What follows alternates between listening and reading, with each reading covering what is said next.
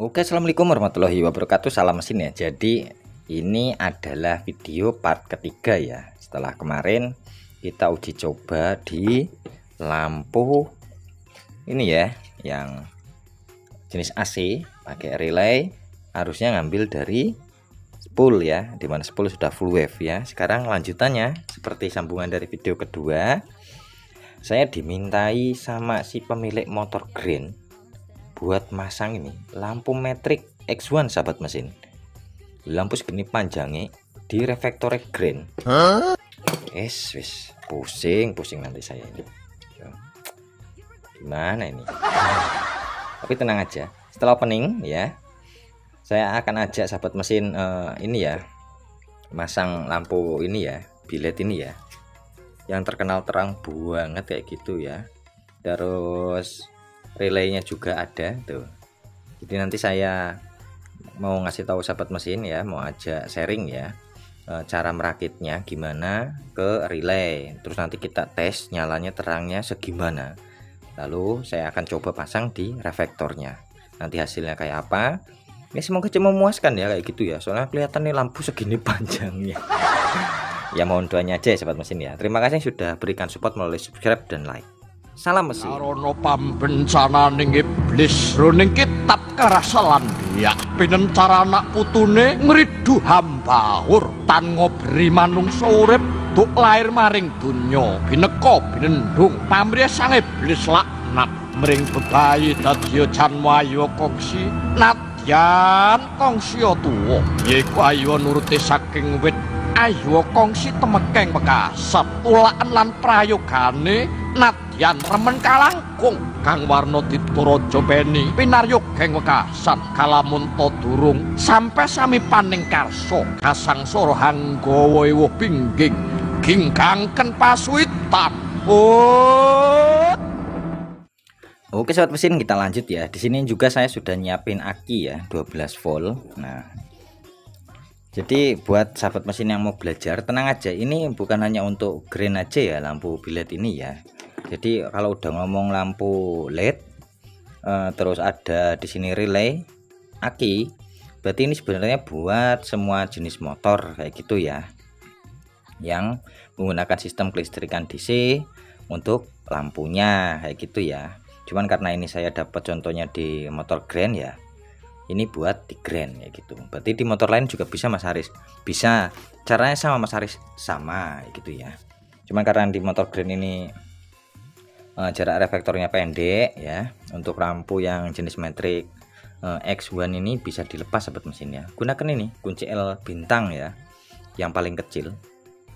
Yang paling kecil. Buat ngelepas. Nah ini ada empat baut bautnya aja pakai L bintang. Ini udah termasuk lampu-lampu elit mungkin ya kayak gitu ya. Saya juga nggak tahu ya. Ini mau saya copot dulu biar kita bisa tahu ya kabelnya ya soalnya ini kan kabelnya masih ada jaraknya. Nah lagi pula ini kalau dipasang nanti kemungkinan besar nabrak ya. Karena kan jarak reflektor lampu green itu cuman sedikit ya atau dekat ya kayak gitu ya. Nanti juga itu ngakali tak bobok paling kayak gitu. PNP Mas Aris di Grand PNP paksain paksa aja ya kayak gitu. Udah pokoknya gimana caranya biar masuk kayak gitu. Terus cara biar anteng tengah-tengah gimana? Kalau saya biasanya kalau untuk pemasangan lampu jenis LED kayak gini ya yang enggak pakai drat lagi kan dilepas itu ya. Ini mau nggak mau ya saya ngakali ya sahabat mesin ya. Biasanya tak kasih uh, isolasi ini double tip ya kayak gitu ya. Buat nempelkan kita paskan dulu sorotnya di tengah-tengah ya.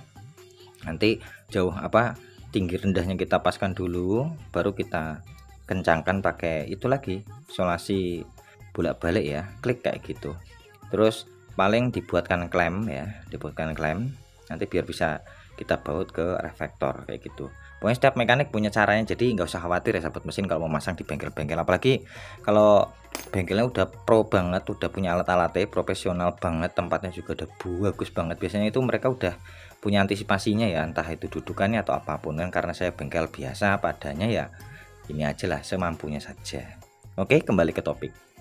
Di lampu untuk uh, jenis LED metric ini ya X1 ini kabelnya ada 4 sobat mesin ya. Saya lihat di sini kabelnya ada 4 ada warna hitam yang besar yang warna merah besar yang dua ini kecil-kecil. Nah nanti ini ke mana aja jalurnya Mas Haris? Nah kalau yang pasti ini ya ini nanti maksudnya ke relay ya nanti nah yang hitam ini masa atau ground ya Nah, yang dua ini salah satunya ini bisa sampai masukkan ke sini digabungkan aja ke masa. Yang satunya ini buat jarak jauhnya ya, lampu jarak jauh kayak gitu. Jadi nanti kalau ini dipasang di tombol ya, di tombol saklar jauh dekat ya, ketika tombol jauhnya dipencet klik lampunya juga akan berpindah kayak gitu sahabat mesin ya. Ini masanya tak gabungkan dulu biar irit ini irit jalur kabel aja ya gitu ya. Toh sama-sama masuk ke masa ya gitu ya. Tapi disolder aja. Ini kabelnya juga bagus sobat mesin tuh warnanya putih. Ini tak solder nanti tak solasi bakar. Ya itu ini tak contohnya aja. Kalau udah ya dirapikan. Tenang aja ini dirusak nggak apa-apa mas Haris. Aku udah izin sama yang punya motor nggak apa-apa tenang aja kalau nggak dapat izin ya jangan ya.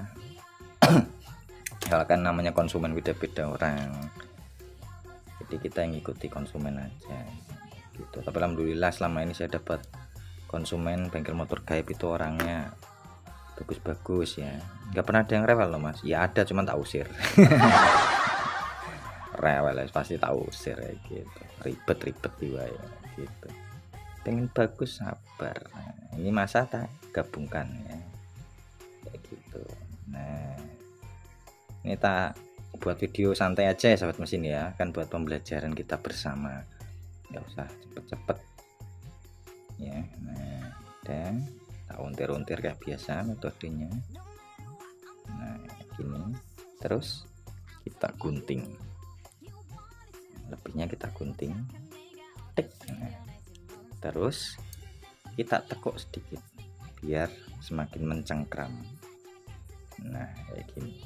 Nah kalau udah kayak gini tinggal solder aja kuat tapi nanti aja. Nah jadi sisa tiga ya. Nah yang satu masa yang besar ya yang tadi udah digabungkan yang merah nanti ini ke relay ya. Yang ini buat lampu jarak jauhnya. Nah kita simpan dulu. Kita sekarang ke relay. Nah di relay sendiri ini kan ada empat kaki pin sobat mesin ya tuh. Sekarang malah ada rumah sikring malah poena udah pasti kalau udah dalam rumah sikring kayak gini yang warna merah ini ya yang kabel warna merah udah pasti ini ke aki. Tapi jangan dilangsungkan ke aki ya tapi ke output kontak. Betul sahabat mesin ya. Terus yang warna hitam nah ini ya yang hitam. Ini adalah kabel masa posisinya gini aja paling gampang tuh. Ada merah di atas samping kanannya hitam. Berarti masa yang atas ke output kontak ya. Nanti masa kita gabungkan ke sana sebelum ke masa aki. Terus yang hijau ini ya. Nah hijau ini nanti ke saklar ya ke saklar. Terus yang biru ke mana mas ini ke lampunya yang kabel warna merah tadi ya apa nanti gak langsung nyala mas? Enggak selama saklarnya belum di on kan ya ini belum ngeluarin arus. Kayak gitu ya sobat mesin ya. Sekarang prakteknya. Jadi kita pasang eh, ininya dulu masanya dulu ya kita gabungkan ya. Kelihatan ya di sini aja kelihatan ya.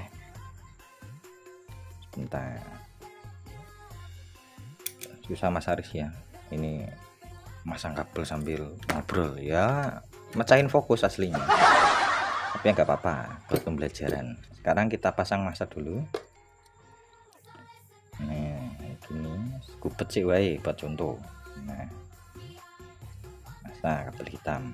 Udah terpasang kabel masa dari aki pasang dulu. Kita cek dulu ya lampunya.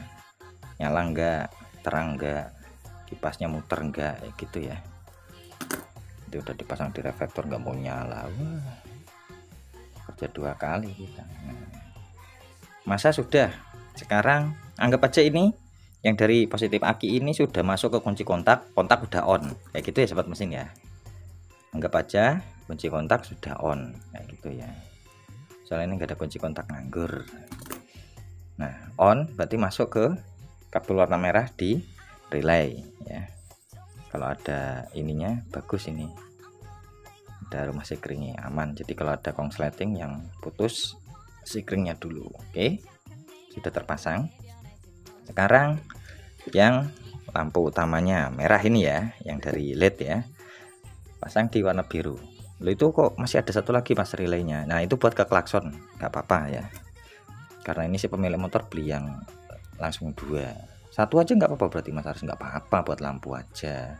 Kalau klaksonnya pengen keras ya kasih relay juga tambah keras. Gitu suaranya ya. Nah gini dulu aja. Udah ya masuk ya. Nah. Terus tinggal saklarnya. Nah saklarnya berarti nanti ikutnya ke mana mas? Ke tombol saklar. Tombol lampu ya. Jadi lampu ketika dinyalakan ya motor kontak on ya harus masuk ke relay standby ketika ini yang warna hijau dari relay ini masuk tombol saklar saklarnya di on kan otomatis arus nanti masuk ya. Jadi saya ulangi dari aki anggap aja kita sudah ada kontaknya kontak on ya. Arus masuk ke relay ya. Melalui kabel merah lewat sikring ke relay. Yang hitam dari relay ini terhubung ke masa atau ground ya. Aki baut bodi mesin juga bisa. Di lampu bilet juga yang groundnya tadi warna hitam juga sekalian ya. Terus yang biru ini langsung ke lampu biletnya warna merah kabel ya. Berarti saklarnya warna hijau ini tadi. Masuk ke ini ya tombol uh, ininya ya buat uh, tombol lampu ya buat nyalakan lampu lalu setelah uh, tombol lampu dinyalakan di on kan ya yang satu arusnya masuk ke aki ya gitu ya. Nih ke baterai. Saya ambil yang sini aja lah. Nih kayak gini tuh. Nyala terang. Ngeri banget ini. Kipasnya juga menyala ya bunyi tuh. Iya. Muter. Iya bagus. Lampunya terang banget. Nah sekarang kita coba jarak jauhnya. Jadi gini kelihatan ya kan ada yang satunya tadi ya yang satu sudah dipasang masanya yang satunya yang kecil satunya. Nah ini buat jarak jauh ya sebentar. Nah gini aja. Nah. Ini buat contoh saja. Kabel tak panjangin dikit. Ya nah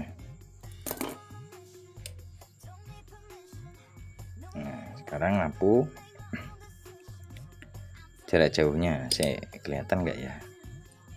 Saya nempelnya kurang bener nah, nah udah. Nah. Kita arahkan gini ya. Hmm, ini jarak jauhnya. Tuh gitu. Buat nembak aja lah kasaran gitu ya. Nembak jarak jauh gitu. Tuh kalau agak jauh kayaknya lumayan ini sebentar. Ini kayaknya buat lampu tembak sahabat mesin. Nah di situ ya. Yang kecil tak coba. Tuh gitu. Oh nambah atasnya ya tuh. Oke. Bagus ya nah kipasnya juga nyala. Uh padang banget loh ini ini apa enggak dimarin orang kayak gitu ya. Oke ini saya matikan dulu. Nah, nah sekarang tinggal rakit di reflektornya. Jangan lupa tadi di solder ya ini udah tak solder tak solasi makanya tak jeda sebentar eh. jadi kayak gitu ya buat pemasangannya. Yang klakson juga sama ya. Yang satu ini dari output kontak ya. Karena udah nyambung ya berarti yang satu ini nanti tinggal satunya masang ke kena ke klakson ya ke klakson. Yang satunya ke tombol klakson kayak gitu. Tombol klakson. Yang tombol yang dari klakson satunya langsung tempelin ke ground ya. Yang hijau ini ke tombol klakson dari tombol klakson ke aki atau ke baterai atau ke output kontak lagi nggak masalah. Wis banter suarane brem. Nah karena grand ini lampunya pendek sahabat mesin ya. Jadi mau nggak mau kita harus berubah ya. Kalau saya yang rubah ya langsung tak potong aja. Tuh tak sesuaikan. Kayak gini nah jadi ini tinggal masukkan saja. Kalau di saya ya kalau di bengkel yang udah profesional ya beda lagi caranya gitu ya kayak gini. Ini baru rencana aja. Nah masanya kayak gini nanti kurang lebihnya. Kita kasih uh, dudukan ya. Kita kasih dudukan buat uh, solasi ininya yang buat solasi bolak baliknya kayak gitu. Wih, nanti ini nyorot terang banget dimarahin orang. Enggak ini pokoknya. Pokoknya nanti lihat hasilnya aja kayak gitu ya yang penting sahabat mesin tahu caranya. Tadi ya yang besar warna merah ini masuk ke relay kabel warna biru ya. Yang hitam yang hitam masa. Yang kecil juga ada salah satunya masa pilih yang mana aja boleh mas boleh. Salah satunya pokoknya ikutkan masa kayak gitu ya ground nah nanti yang kecil satunya lagi yang hitam ini sambung di lampu jarak jauh buat lampu tembak jauh ya kayak gitu ya buat sorot. Yang ini kan ke biru terus yang dari relay. Ya saya ulangi lagi. Ini dari output kontak. Jadi kontak on harus masuk ya ke relay. Hitamnya masa ya. Tuh masa hitam. Yang birunya tadi ke lampu ya. Lampu. Hijau ini ke saklar on off lampu. Kalau motor lama kayak grand lewat kanan dulu. Krek tapi ketika udah dipasang di saklar lampu yang jalur tengahnya itu masuknya ke lampu jarak dekat aja Mio juga sama ya Mio Sporty ke jarak dekat saja. Yang kecil baru ke jarak jauh. Oke? Kayak gitu. Ditunggu aja hasilnya nanti kalau udah selesai ya sobat mesin ya